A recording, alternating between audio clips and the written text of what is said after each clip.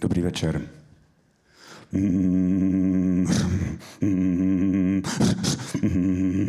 Řekl jsem a tyč, řekl jsem a tyč, řekl jsem a tyč.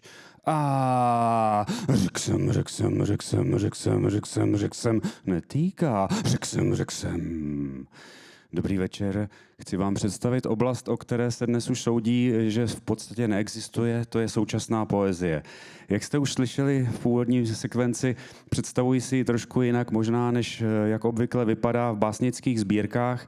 Básnická sbírka je úžasné médium, ale zároveň v ní ta poezie tak trochu ústrne. Takže já jsem už od 90. Eh, let se snažil o nějaké propojování se zvukem, eh, s obrazem, Mám štěstí, že žiju v době, kdy už je možné využívat nahrávky a projekce, ovšem myslím si, že poezie se vlastně vrací neustále k nějakým eh, svým zdrojům.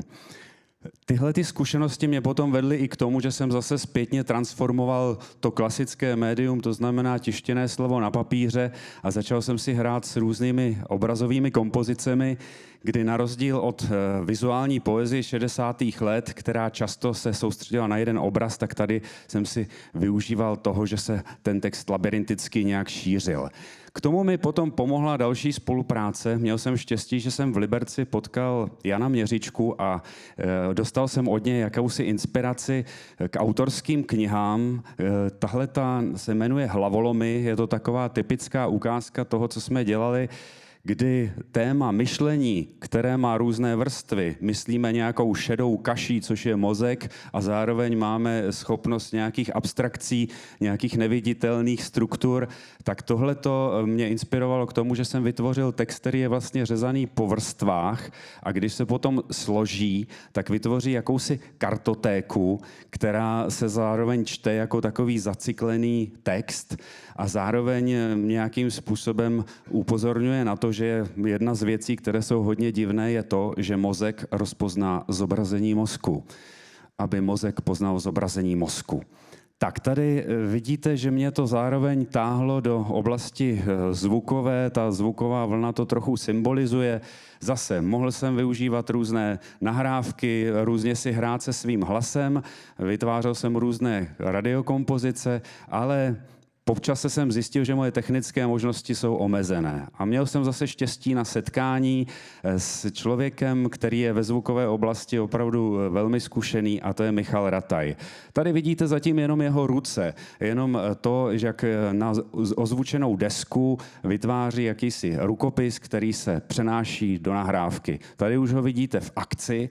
Michal Rataj vlastně začal nahrávat v živé, v živé improvizaci můj hlas, nějaké fragmenty textů a začal je nějakým způsobem rozpohybovávat v prostoru, prolínat se svými zvuky a blížili jsme se k tomu, čemu my říkáme po německu Hörspiel, eh, nějaké improvizované struktuře. Eh, já využívám jednak, jednak svých fragmentů, jednak eh, nějak to posouvám svým hlasem a zároveň jak vidíte, tak občas eh, se přidám i zvukovými škrábavými zvuky díky své bezpražcové eh, akustické baskytaře.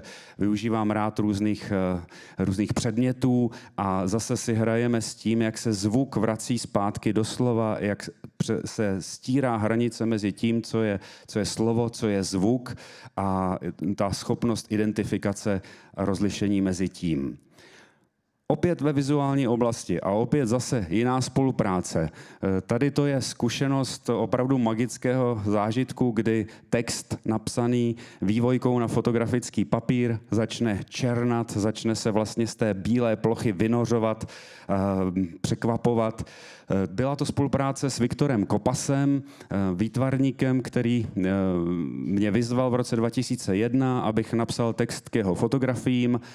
Potom jsme se zavřeli, tři dny jsme experimentovali s různými možnostmi, jak eh, proměnit text, jak ho propojit s fotografií, eh, různě jsme přeskenovávali a podobně. O deset let později, toto není moje dílo, to je dílo Viktora Kopase, mě Viktor vyzval k další spolupráci. Inspirovalo ho vinice v jeho rodném Slovensku a měl pocit, že ty úponky, že ty dráty na té vinici vlastně připomínají arabesku, arabské písmo, což eh, potom chtěl proměnit ve film a měl pocit, že by k tomu filmu měly být i nějaké texty. Takže mě oslovil, abych do takového pásu, který si teď třeba můžete pustit na, na YouTube, napsal nějaké fragmenty. Já jsem si zase hrál s tím, že nějaká slova vlastně připomínají i ostny, například slovo zatím, české slovo zatím přímo řeže. Takže jsem eh, se do toho zapojil a mimo jiné ten, tenhle ten film má i 3D podobu, takže máte-li správné brýle, červeno-modré, tak se můžete na YouTube podívat i do toho, jak se prostorově proměňuje. Závěrečné ukázky už se týkají zase mých experimentů, kdy si svoje texty různě fotografuji. Tohle to je proměna, kdy rukopis, nějaký proškrtaný rukopis se propojuje se sazbou grafické básně.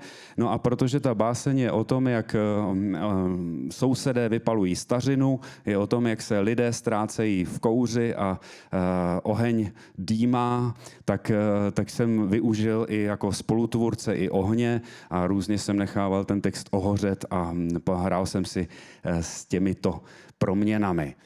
A to se zase potom mohlo vracet do mých autorských čtení. Zase jsem eh, začal využívat projekcí a eh, propojovat eh, všechna média. Ovšem na závěr chci říct, že to všechno pro mě má smysl jenom do té míry, pokud to podporuje slovo, pokud to neruší, nepřebíjí, nějakým způsobem nedrtí slovní význam. Já vám děkuji, bylo to rychlé.